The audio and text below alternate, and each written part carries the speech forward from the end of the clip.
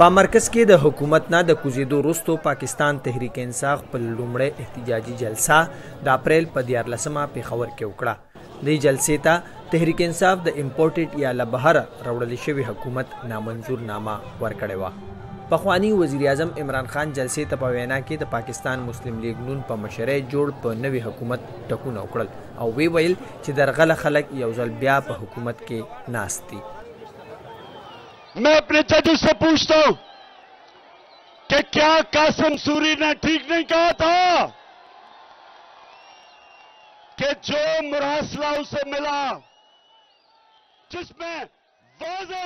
زه د عدالت د ججانو نه پوښتنه کوم چې آیا ډیپټي سپیکر قاسم سوري صحیح نه ویلي چې کومه مراسله هغه ته ملو شوې وه په هغې کې په صفا ټکو کې لیکل شوي دي چې امریکا به هله د پاکستان سره اړیکې سموي چې تاسو د بې باورۍ له لارې عمران خان له حکومت لرې کړئ او آیا په هغې کې دا نه لیکل شوي چې که عمران خان مو لرې کړو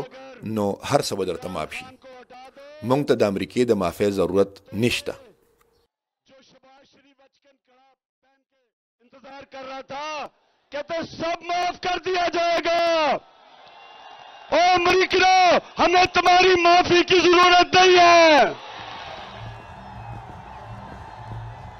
خو اتحادی جماعتونو د عمران خان د بهرني سازش سره د ملکرتیا تورونه رد کړي دي نوې ټاکل شوی وزیراعظم شهباز شریف د بهرني خط د پلټنو هدایت جاری کړی دی او ویلي دي چې که د بهرني سازش د ملګرتیا تور پرې ثابت شو نو سیاست به پرېږدي. عمران خان د پېښور جلسې ته وویل چې تر هغه وخت به په سړکونو احتجاجونه کوي تر څو چې نوې ټولټاکنې نه وي اعلان شوې.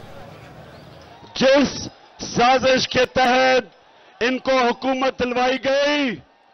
مین اپنې سارې ادارو سې پوچھتا هو.